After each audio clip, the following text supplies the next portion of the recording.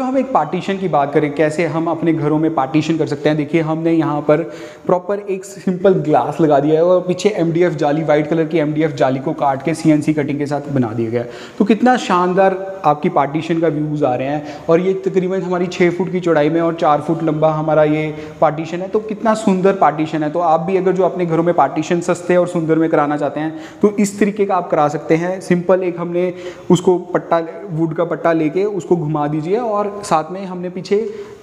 MDF जाली का work कर दीजिए विद ग्लास तो अच्छा लुक आ रहा है।